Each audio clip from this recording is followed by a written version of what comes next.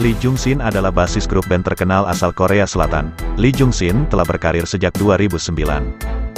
Berikut 7 drama Korea Lee Jung Sin yang wajib kalian tonton. 1. Seo Young, My Daughter, 2012, Seo Young. My Daughter merupakan drama debut Lee Jung Sin, Drama bergenre keluarga dan romantis Lee Jung Sin berperan sebagai Kang Sung Jae. Kang Sung Jae seorang anak bungsu dari keluarga kaya raya. Keluarga itu merekrut Lee Seo Yang sebagai tutor Kang Sung Jae. 2. The Blade and Petal, 2013. Drama ini mengisahkan tentang kisah cinta dan balas dendam. Putri Raja Yongyu diceritakan jatuh cinta dengan putra Yeon Gae Somun. Lee Jung Sin berperan sebagai Siwo seorang ahli pedang yang ditugaskan untuk mengawal sang putri. 3. Temptation 2014, Temptation drama tentang pria naif bernama Cha Seok Hon yang bisa berkuliah di Universitas Top berkat kecerdasannya. Pria itu menikahi seorang wanita bernama Na Hong Jo seorang gadis miskin yang sudah pasrah dengan kehidupannya. Hidup mereka tenang sampai pada akhirnya Seok Hon terlilit hutang besar. Lee Jung Sin berperan sebagai Na Hong Gyu adik Na Hong Jo. 4.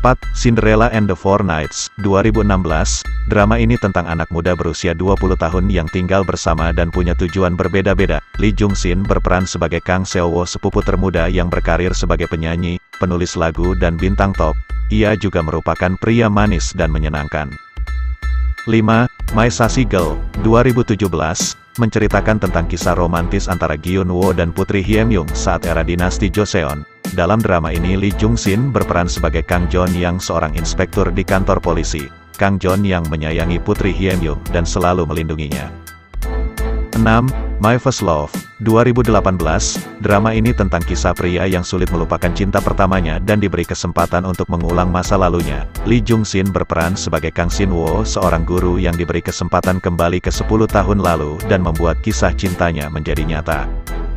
7. Summer Goose, 2021. Summer Goose merupakan drama comeback Lee Jung Sin setelah selesai melaksanakan wajib militer. Summer Goose menceritakan tentang empat anak muda yang bekerja sama untuk menghidupkan kembali bar koktail lama di dekat pantai. Lee Jung Sin berperan sebagai Seo Wo Chan di drama ini.